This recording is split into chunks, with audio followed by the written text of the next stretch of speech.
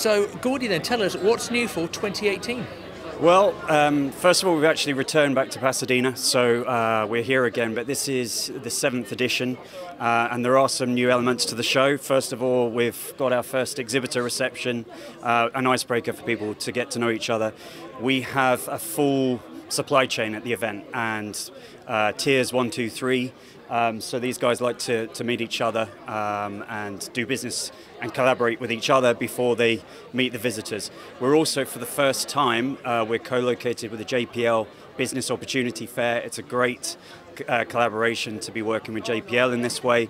We're in JPL's hometown and um, third year in Pasadena, uh, they're joining us with a co-located show. Um, we also have quite a few new companies attending for the first time, which is uh, also good.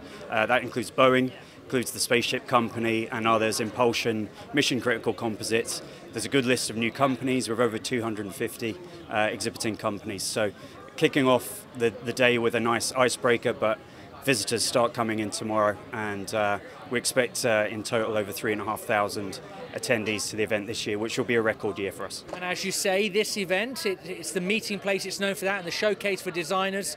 Yeah, it's a full ecosystem, and this year, uh, Space Tech Expo USA is building on that heritage. Yes, uh, we've built, as I say, uh, seventh time, but manufacturing and engineering meeting place for the space industry, and uh, people are doing business, um, and we're seeing.